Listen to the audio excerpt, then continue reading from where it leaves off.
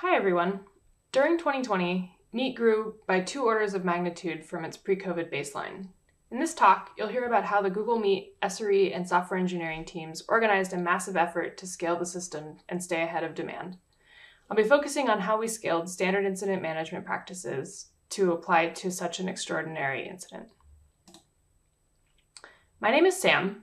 Normally, my day job is working with the developer and SRE teams responsible for meetings related products at Google, like Meet and Calendar. I've got some incident management experience. In my nine years at Google, I've led an incident response about every six months, but none of those were as long or involved as many people as this one did. In today's talk, I'm going to paint you a picture of how last year, while COVID 19 forced us to reimagine our social, academic, and work- workplace interactions, we graduated Meet from being Google's enterprise video conferencing product to being, well, Google's video conferencing product. I'll be focusing today on the incident management portion of the year, which began in February and wrapped up at the end of March. During this period, we had dozens of people working full time on this effort across teams and organizational boundaries, while simultaneously adjusting to working from home full time themselves.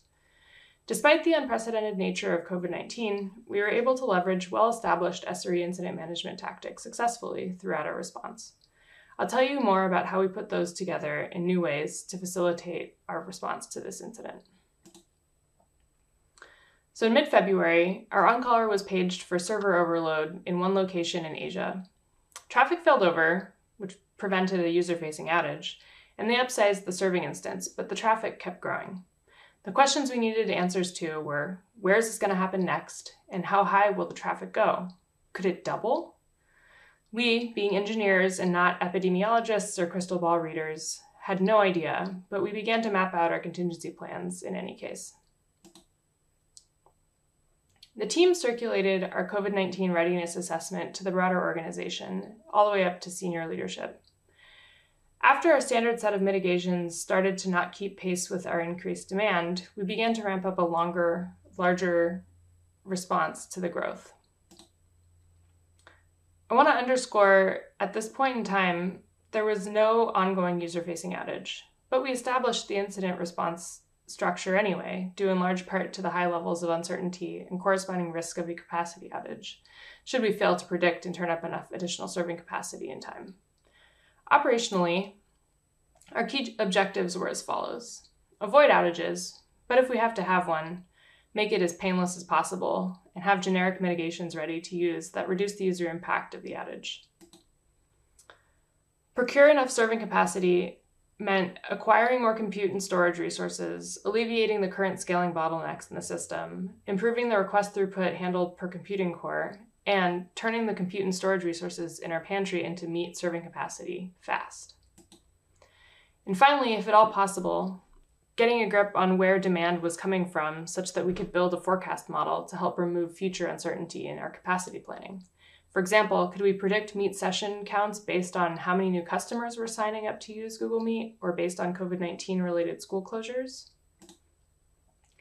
We started out mapping across the surface, across the service, what doubling January 2020 demand would look like, then 10x, then 50x, and finally by the end of the incident response, we were thinking about 100x. This became our target. Due to the large number of people we'd tapped to join us in the scaling work, we needed an organizational structure for this incident that was more intentional than a slime mold with some incident responders at the top keeping everyone organized. We needed this in order to keep the most people working on the most important and impactful tasks. It took a village. We really had people working on this from 10 different teams in four different sites with varying backgrounds, expertise, and functional roles in their day jobs across the whole globe. How did we get everyone on the same page about what was important?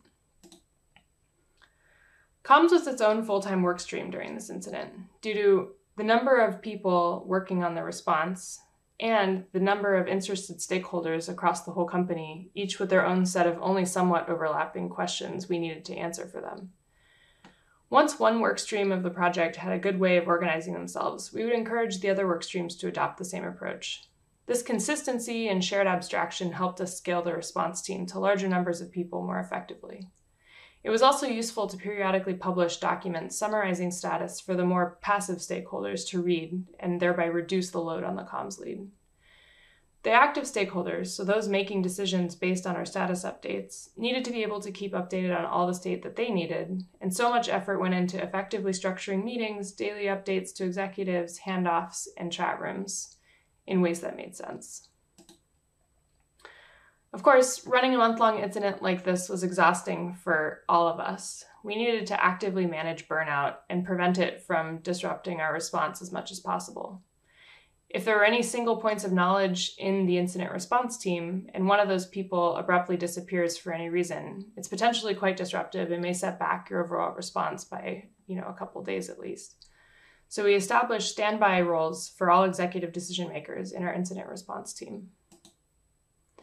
For each lead role, so incident commander, comms lead, ops lead, and other leads in the incident, we had a second person in the same time zone as the first shadow all of their meetings and discussions, or at least the important ones.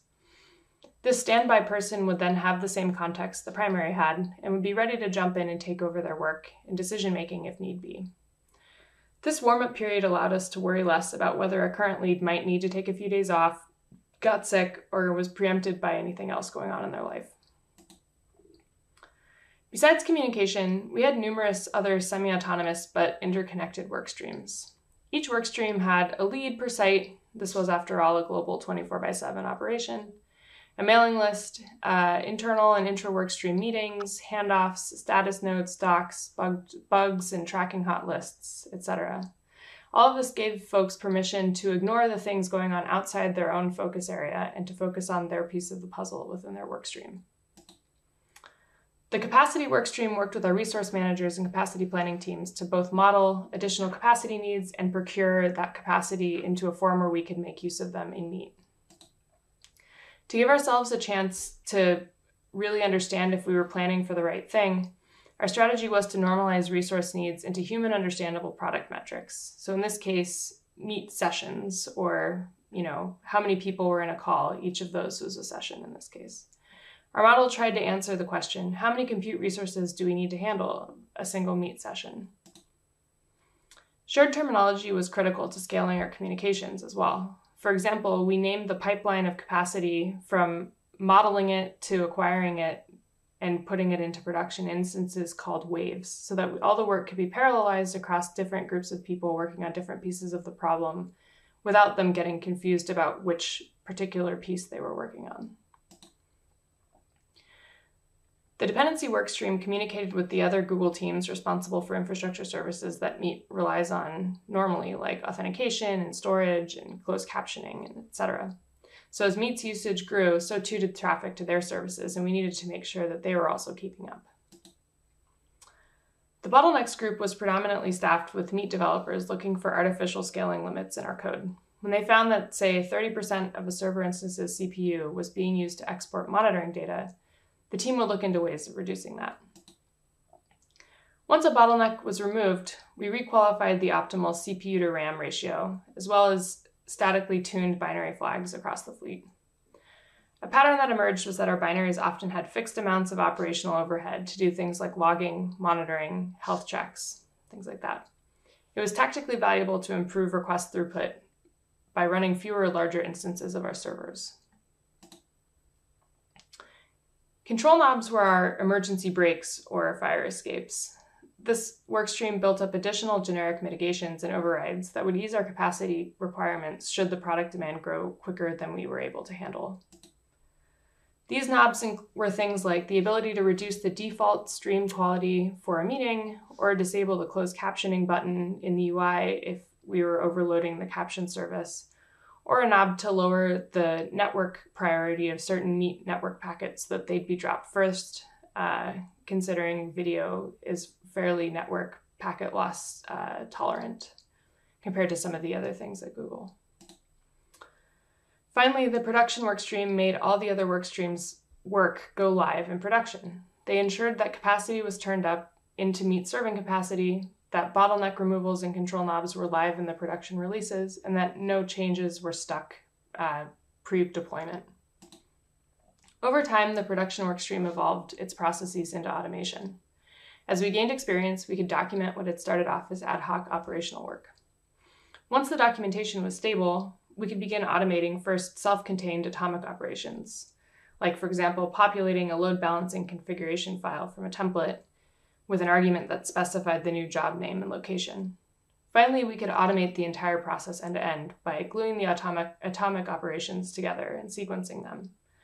So this meant we could put together, for example, the capacity configuration, the load balancing, the job creation, and traffic management, all automated. And we could automate the order and sequence and conditions upon which they were those turn up steps were atomically executed in relationship to each other. Putting this together was my job as the incident commander. Establishing an effective structure of information flow amongst all the people working on this was my top priority. By April 2020, Meet had surpassed 100 million daily meeting participants and was adding 3 million new users each day. And at this point, we were ready to start to wrap up our incident response to our large scale non outage. Throughout the incident, we'd kept our eyes on key metrics we called vitals and reported them out to stakeholders on a daily basis. This gave us a good way to notice if trends were changing over a longer period of time during something that was easy to get sucked into the details each day as we worked on it. So, how did we know we were done, or at least that we could reduce the resources dedicated to managing the scaling incident? We decided to ramp down when the situation was changing on a weekly basis rather than on a daily basis. With a weekly planning cycle, it was much more manageable to use more standard project management approaches to keep things moving in the right direction.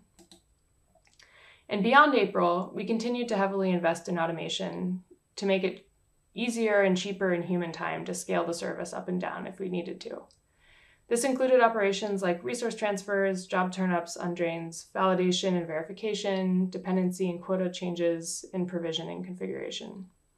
We knew we were in good shape when the scaling work could be given to a single team member to keep an eye on and could relieve the army of volunteers who had helped us get there. Without needing to restart the all hands on deck response structure later in the year, by October we had 235 million daily meeting participants spending more than 7.5 billion daily video call minutes on Google Meet. And the cherry on top of it all? No outages. And with that, I'd like to thank you for listening to a recap of how we scaled Google Meet during COVID 19 last year. I'm looking forward to your questions in the Slack in the next 30 minutes after this. Thanks.